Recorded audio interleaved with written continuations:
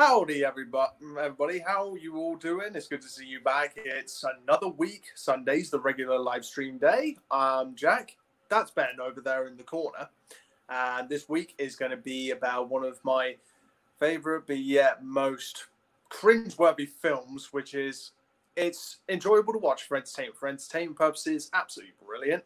But for logic wise and for reality wise, will this ever work in reality? Is this even a thing? And obviously you guess by the thumbnail and the title, but when it comes to like when it comes to like suits like this, when it comes to um, armor which is being um, developed in the army and also for the police force and so on, yes, we're going to be talking about RoboCop.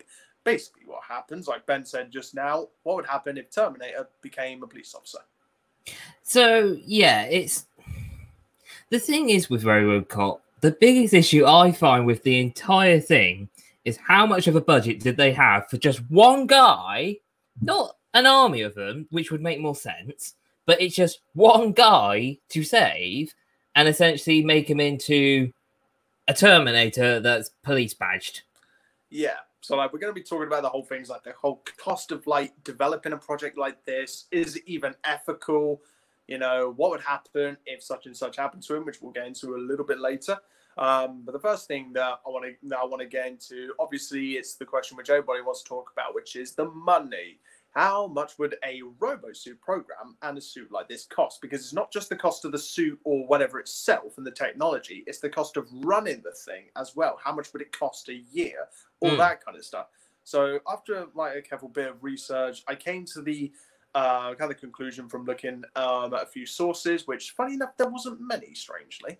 Um, but through sources, um, there was a few of them which kind of reckoned it was around the um, proximity of like five, mil- 5 million, which seemed a little bit low for something like this.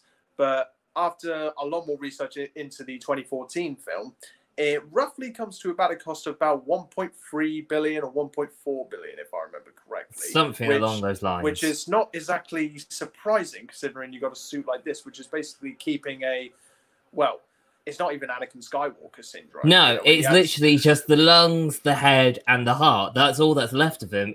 Oh, and one hand, which I don't see the point well, in that. The thing is, that's the original film, but in the modern one, there's a scene where it's just literally him as a head, a pair of lungs, and a heart. That's all that's left of him. Yeah, that's the yeah, that's the 2014 film. But Wait. But it's well, just only thing is like for a suit like this, like I want to get to a key part of this in the film, which there's a line when he first uh, wakes up in the whole suit and everything, and um, and the doc- and the doctor's character Gary Oldman asks him um, if he can walk around and so on, and he walks around and everything. He says he can feel all this. Which how the heck can he feel the actual suit itself when he has basically no nerve endings, no muscles, no tendons, nothing? He shouldn't hmm. be able to feel a thing. Now I know there's going to be the BS excuse that oh it's all connected to his brain everything. Yeah, I get that, but the brain is such a complex thing. Like there's parts of your brain which control your motor functions and so on. But the point is, you need actual muscles for those signals in the brain.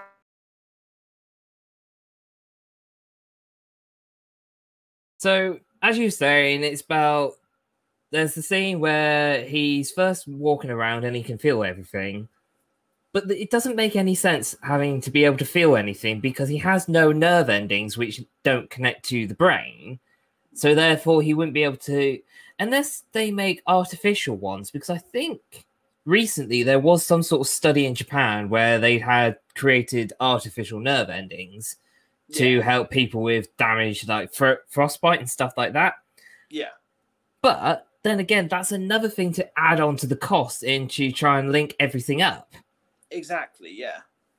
So the other big issue that I have with the whole thing of RoboCop is the fact that they put so much into it, but there's not a lot to him. Like he has one compartment in a leg to carry an oversized gun that isn't even police issued. It's a yeah, yeah, just a leg, just one leg. But then it's like, well, what's the damn point? If anything with RoboCop, it shouldn't be about like being able to storm in and like just end up being like a tank. It should be more as like a shield for other cops, so he could literally like stop other weaponry while the other cops go in and do their job. Yeah, for sure. I mean, if I were to design one, obviously, like you'd have to try and make it a bit more police friendly. And I know it sounds really nerdy and really dorky, but you'd have at least the blue, the red and blue, like flashing lights on the shoulders, so at least it made it obvious he was actually police. Because the entire thing, I don't think he has a badge. There's No. nothing on him that makes him look like police. He just literally looks like Terminator's brother that works for the law. Yeah. So the other thing as well is like I know obviously like the majority of him is meant to keep him safe, but for such a big body that they built, you would think they'd make compartments or something for him to carry stuff for other officers. Yeah, you think, or even there's no protection for like the because when the visor comes down or when the visor's up, this is completely exposed the face. So what if he gets a shot to the face? He's done. Well, that's what I'd never understood as well, because I think the whole reason why they designed him is because they created tech already that was meant to like take over from police, but they they found that it wasn't too humanizing, so that's why they did what they did to him. Yeah. But then it undoes itself when he's got most of his face covered, because know, unless you, because the thing is, he's what good six foot give or take when he's in the suit, so he's quite a tall guy.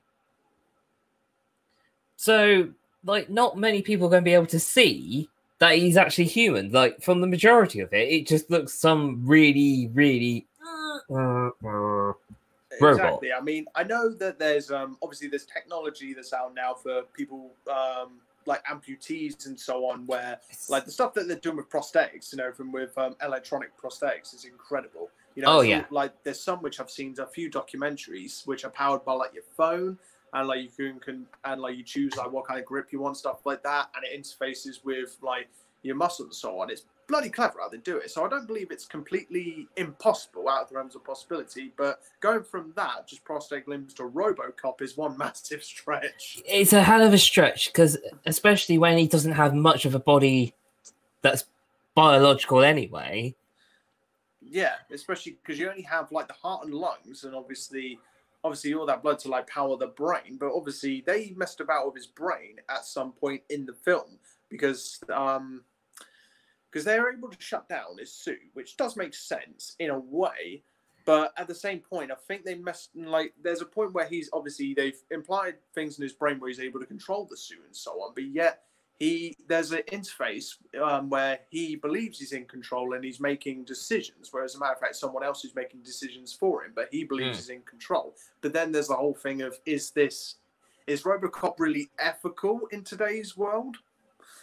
I would argue no. Like No. at the end of the day, there's no way. And if there were, if they kept the idea of the what you said with the subtle programming, there's no way it's ethical because it, No. it's more of a gun for hire than it Yeah. is a police officer.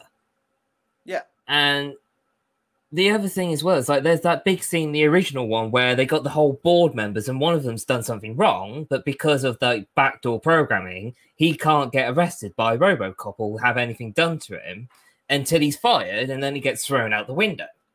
Yeah, because then you had the ending of like the most the most recent RoboCop film where he's not where he's not able to shoot. I forgot what his name was. He's like the boss Yes. of the corporation. Like he, he's not able to shoot him because technically he's not actually done in like technically up to that point he's not done anything wrong and hasn't got a police record.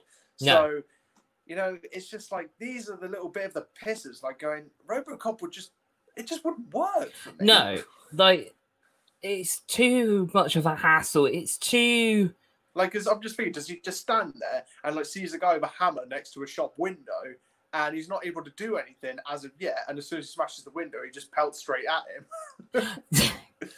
but the other thing I said to you the other day was that in the modern movie, obviously now there's Wi-Fi and there's stuff like that, he's able to access people's personal details without a warrant.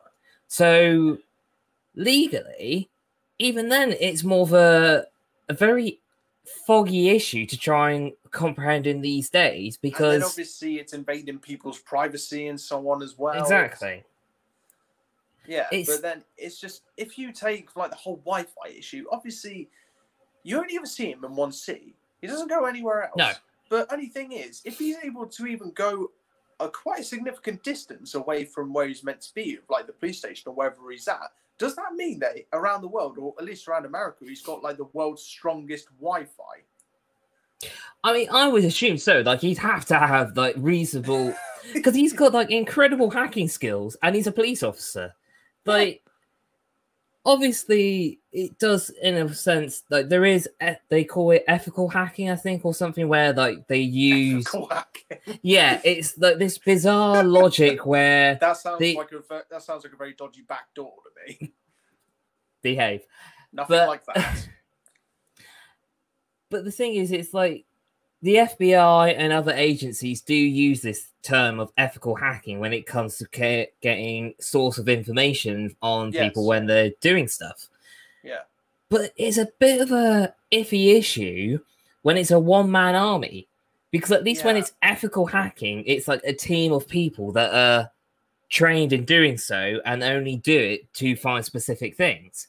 But then But there's only with- one cop that can do it within seconds. Yes, but it's also the fact that he doesn't even know what he's looking for. He's just looking in general, which makes it Yeah. even more of a broad thing and more of a very iffy issue. Because then I try to figure out how they can come into the idea of any of the stuff that he actually comes across. How does the evidence process work as well? Because- you mean? Well, because going on a tangent, you got like Judge Dredd, where everyone is literally police officer, judge, jury, all in one go, and that's how the thing is processed. But with RoboCop, Ah, right, yeah, yeah, yeah. RoboCop is almost on the same level as that, but he's not. He's still just a police officer, but he does. Well, it's like in the original movie where like the bad guy gets caught, he gets fired, and then he throws him out the window. How is that a legal police officer like thing It to do? isn't. Like the only thing is, like, can you even can you even arrest RoboCop? Well, only no, but is, like, if can he like is he even able to consciously deviate from his programming? You know, that's not really edged on. well, the other thing as well is like, what about poli- police brutality? Because obviously, him throwing the guy through the window. Yeah, What can you do to a guy that's literally a walking tank? Like, yeah, like, nothing. No, no, this is it. Like you can, because you. The only thing you could do is turn the, just literally press the on-off switch and put him in the storage bin. That, Yeah, that'd I be mean, it. that- That's the other thing which we we were going to touch on. We're skipping through these things obviously because we want to get all this um, kind of condensed. So obviously you have a short video and you can comment on it as well. But talking about power, how is he even powered? Yeah, because I don't think it was ever uh, covered fully in the original movies. No, it wasn't. And I mean, back in the eighties, everything was nuclear. Like every big Oh, thing yeah. was always a nuclear thing. So if that was the te- the um the concept, how radioactive would he be? Because the amount of material that you would need to try and cover him so he didn't kill people with cancer, Yeah, like it, that's another big cost to add on to things. Exactly. I mean, you got like such a powerful battery, but then again, like from what like from what you were saying, like when we were chatting earlier, when by the way we were chatting when I was at work, everybody. Um, but yeah, when um like we were shooting messages back and forth. You know, if you just want like for him to be powered, obviously you would have to have like a single maybe cell battery in um in his body somewhere, some kind of battery. But then again, with the amount of power and everything that he must use up, as how much power must he Oh. use up? Like it's impossible to regulate. But then, do, wouldn't he have to have like a team in a car following him around to keep him keep him charged up, or is he solar powered? How well, does it work? I wonder if he's solar powered or whether it's. Be- I want. I mean, that would be. It wouldn't work in the UK. We barely have enough sun as it is. Like, Oh yeah, he would be the slowest cop in the world. You're Yeah. under arrest. Hey, let me just get out my. But the other thing I said to you, and I'm sure people probably laugh at this, but I think Tesla are trying to design the idea of Robocop because the amount of electric car ports that you can get now, that's how Robocop probably charges up. He just Yeah. literally just Halt! You are under arrest. yeah. but like, this is it. Like, how could you? I mean, obviously, with modern day tech, the size of batteries have shrunk down immensely. Oh, yeah. Like, the battery on our phones are like so much more capable compared to batteries 30, maybe 30 plus Yeah, years ago. Because, like, I remember just like even when like our parents were like younger, because even my dad was like telling me back when like phones, like first mobile phones Yes. first became popular, there were these great big brick things, and like for those, you had to actually have you had to charge up the phone for something like I don't know, twenty. I think it was like twenty four hours to have like thirty Yes. minutes of actual Yeah. like phone call, like of. So Yeah, then- so I'm just wondering, like, because the, whole battery idea, the, this is the bits which, yeah, there's people like us that come along and like uh, destroy your suspension of disbelief because we want to get into the whole nitpicky side of things. but this is it. Like going back into the 80s, I think probably those big phones were probably the only thing that had decent batteries. Yeah. Hello, Jake. Welcome to the channel. This is Ben. That's Jack. Hope you enjoy us ranting about random sci-fi things. Um, so yeah, back in the 80s, obviously those phones were probably one of the few things that actually had like decent power to it. So with that in mind, that explains why he's so bulky. The entire body's full of those batteries. That's what it is. Because that's the only thing I can logically. Ex- that would be a hell of a good thing. They could have done it in the original movie. It's like he opens up his chest and he has one of those mobile phones. He's like, I'm calling in uh, a case number 0015. And it's like, okay. yeah, just like what have you got port for your iPhone, like USB, but and then there's going into like the whole like USB thing. Actually, it's something that just jogged my memory. You know, like with RoboCop, you have the scene in the beginning where he's getting all of his um, where he has to have like knowledge of like crime and everything. So basically, the whole I cannot remember what it's called. The whole kind of network and everything like crimes, uh, people who are wanted, you know, stuff like that, and it's all downloaded into Yes. like his all downloaded into his brain. And for that, you basically got a one man wrecking wrecking crew. There's no need for any other police officers, as he's got like all the info into his mind. So that's going to put like an entire workforce out of like out of work. This is it. I mean, the other thing as well that there, there's so many things they could have done with him, but obviously it's trying to find the practicality of it. As I said earlier, like normal policemen would need a warrant to do certain things. Yeah, Could you imagine if RoboCop had like a built-in printer so he could print out warrants as and when? it comes out of like like a little port in his chest or something. See, I was thinking somewhere else, but Yeah, but I know what you mean. Basically, you have a front end and a back end. That's all I'm going to yeah. say. But, Review like, mirror. I mean, that's, there's so many other things about RoboCop that just boggles me because there is so little practicality behind the whole concept.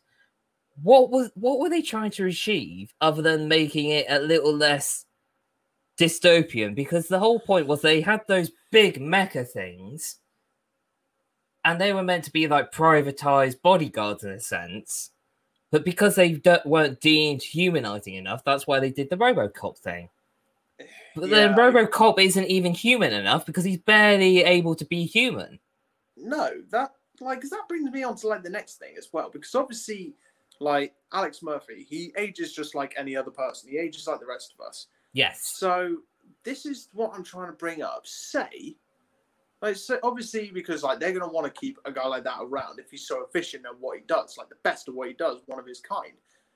But then again, I'm just going to bring up a little bit of a like medical issue. Say if like like you suggested to me he had a stroke, or what if he had like Alzheimer's or dementia, something like that Yeah. you know but it's just things like that like would they have to maybe completely rem- it would have to be like complete if like having somebody like like that if like they had a mental issue such as that or even had a stroke or something like that how would robocop even be able to function. And then that leads into the whole eth- ethical thing again. Would they tinker with his brain more? Would they just remove his brain completely with a like artificial um interface? I don't know.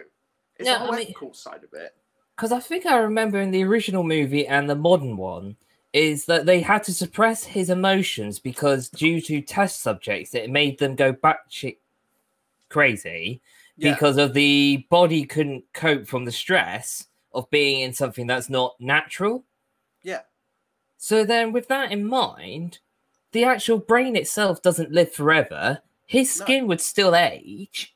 Yeah. It would get to the point where he'd only have the best part of 10, 20 years, give or take. Yeah.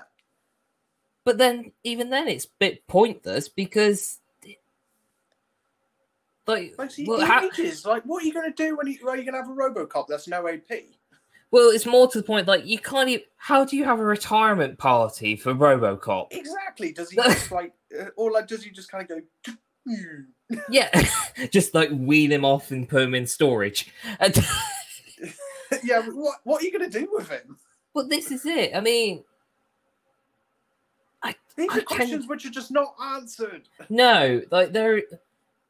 He's designed more as a like full frontal force weapon, Yeah. but as I said earlier, he works. He would work so much better in concept as a defensive maneuver. So he could literally have like on the, his back, he could have pieces that fold out to make into riot shields or something. yeah. because- so. the thing is, at least with modern day, they've proven that you can make material now so flexible but so durable that that's even a possibility. I think China was making um, fold up riot shields ages ago. Yeah, and But- I know, and I know the American military have been developing like different suits for like the army and so on that are like tear resistant and stuff like that. Exactly, but this is why I find it so odd that they put so much money into one guy that's just a cop. He's not even a good cop because I think he was a he was what a corrupt cop that got shot down or something. Uh, I cannot remember. I can't remember exactly. In the 2014 film, he got blo- in like he got blown up next to his car, and he had like both. I think he had both his legs blown off, and he had one arm gone and one arm still there. But yeah, I think I think it was. I'm not too sure. I can't exactly remember. I think they No. kind of altered it in the 2014 film. I think when it was just a random attack. I think. Yeah, but like, unless it's like a absolute powerhouse of a cop that you can't live without, it's a waste of time and money. Yeah. I mean, at least if it worked for like the military, it makes more sense because they need to try and do the job as quick as they can to try and save as many lives. Yeah. But being RoboCop, like, well, what do you? It's like every day is going to be different. You're going to have so many people being corrupt or whatever every day anyway. Exactly. So, like, if you're gonna like put all that time and money into something like that, then the police force or whoever are gonna want to get rid of him very lightly. But like, say what happens when like his organs and everything when he dies? What happens then? They're just gonna like replace him completely with a machine or what? I don't know because the other thing is then, like you say, if he's aging, he'd have to be replaced. But then, could you ethically replace him with somebody that wasn't Uh, it- like it's that's the one of many other things as well. It's like how do you ethically replace somebody to be the next RoboCop? Because like cops die a lot, unfortunately, because it's part of the Unfortunately, yeah. job. But like at the same point, you have to think ethically. Would they have to sign a waiver to say I do or do not consent to be a RoboCop? yeah, I mean, how do you go about that process? Going right, I've got a proposition for you. and imagine that convers- Imagine being a fly on the wall for that conversation. Yeah, I mean, I just It's There is no- like- I I find it amazing that like in the film his wife actually gave consent for him to undergo that kind of major operations. And but even in that sense, what kind of a life would he have outside of just being a cop? See, that's what all, that always bugged me in that movie because unless you don't have any any significant other, it's fine if that makes sense because there's no one Yeah, to but, like but like Alex Murphy, he had a kid and he had a wife. exactly. So the fact that his wife consented to the idea sounds like she's more like ah, you can sod right off. I'll go find someone else. Like, Because, like there is he can't have really have much of a relationship anymore. But No. like he's still there, but at the same time he's very he's been technologically altered in his brain. I mean, the other thing that's just come to my mind, right, is like a big thing in America is that they like to do this thing in school where they bring their parents to school to show off what they do for a job. Oh, Could Oh, you no. imagine bringing in Robocop for the day? Like, hi everybody, this is my dad, and then he just like randomly scans all the kids. Like, he graffitied the wall. Yeah, you will be. or just like T- Timmy six stole a pencil. Like Yes. yeah. You just have like all these little kids and it's like rap sheet, c- um, criminal record, stole a pen. yeah, Graffiti. just look, yeah, they just look, and then like he like turns to the teacher, and the teacher's there like, And then like, you just ventilating. you look at the teacher, it's like DUI, DUI, DUI, Yeah, yeah, DUI. it's like, ah shoot. yeah, But then it's like you could have a bit where he scans to the gym teacher, it's like child molestation, it's like "Err." yeah. um but yet there's no upside to being a Robocop. I mean, they can't make it of any. horrifying, but at the end of the day, you don't know who you are. You don't even know if you're human. You're barely a person. The rain probably doesn't help because you seize up. You need to carry WD 40 with you all the time, just in case. yeah, yeah. Because no, even just yeah, because even just being like just being RoboCop, you know, I'm gonna go back to I'm gonna use a quote from Jurassic Park, which I reckon really does work well, uh, from Jeff Goldblum, Ian, Ian Malcolm, just saying like it's all good, well, it's all good, all good and not. It's all good. It's all good whether they could, but the question is, should they? Should.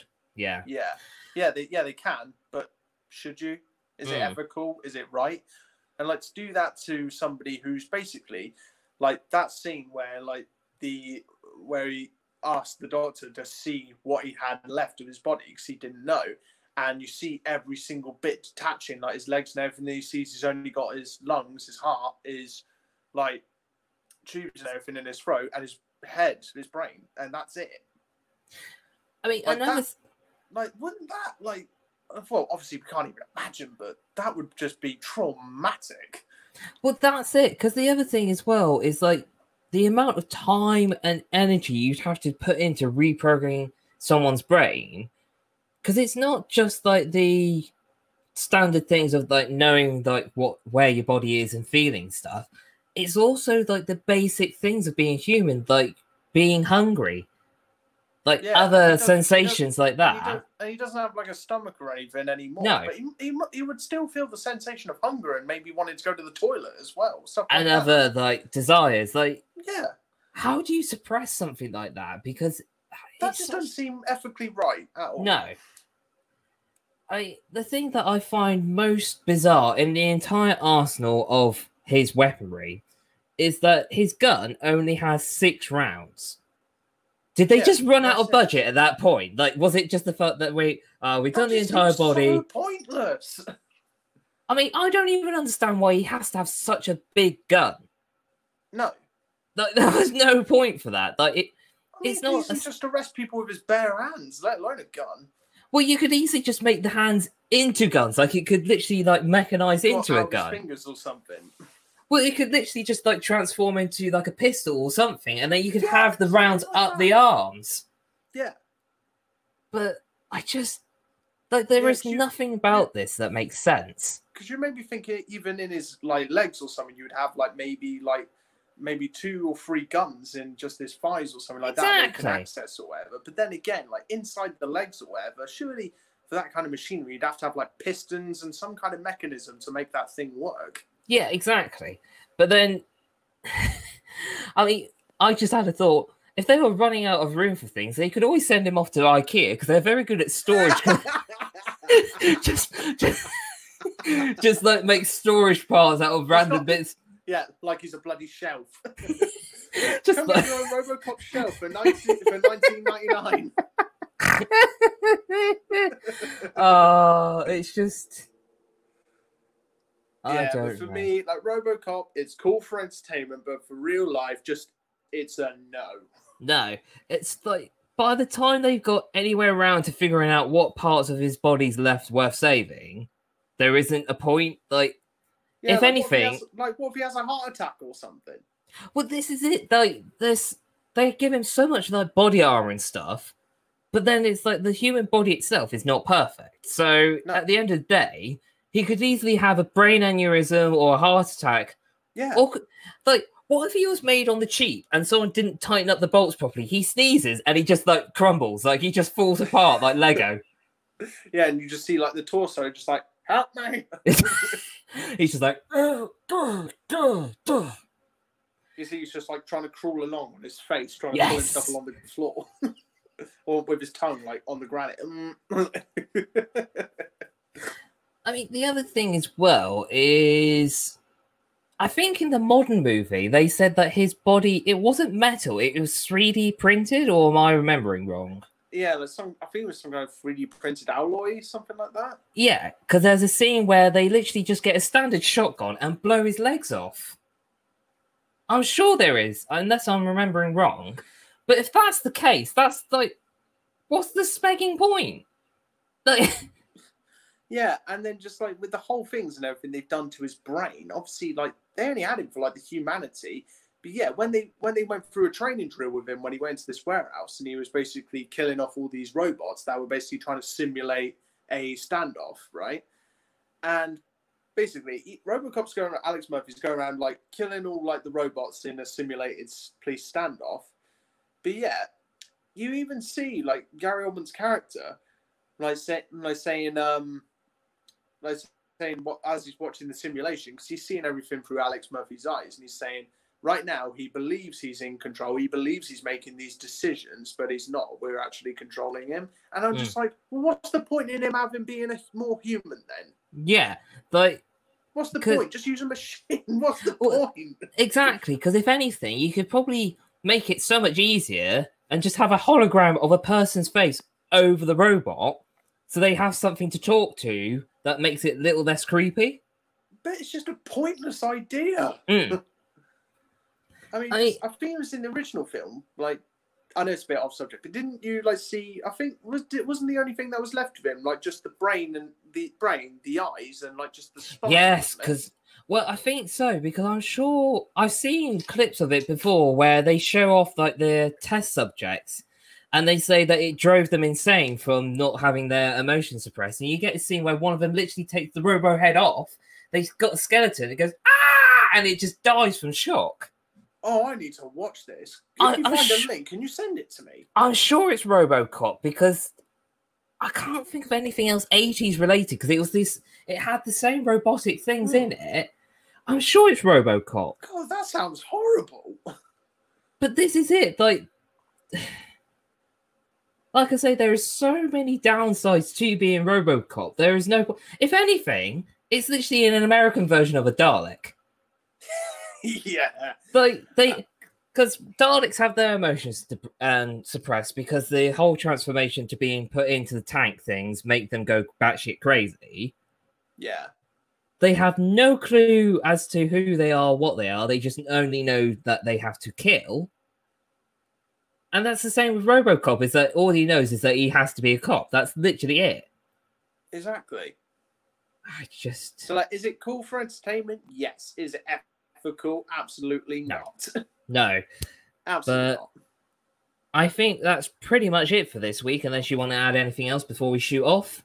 Well, if there's well, if there's anything else, then I'll probably either shoot it down in the comments just as a random question for people to answer if they would like to in the comments. But obviously, for any uh, links or any kind of additional info which we may have missed, then you can always uh, pop them down below in the comments. But we'll also put some links of where we've gotten some of our information as well for this. Exactly. So short and sweet this week due to techie issues, as not always, but reasonable times we have tech issues. Yeah, but luckily, luckily in future, as come Tuesday, I'll have my new broadband set up, so live streams hopefully be a bit more regular and hopefully will work properly. Exactly. So thanks again for joining us. It's not anything proper. We just rant and rave as usual. Share us with everybody. And if you've got any ideas, any theories, or any topics you want us to talk about, drop them down below and we'll catch you soon. So stay safe and we'll see you soon. Bye bye.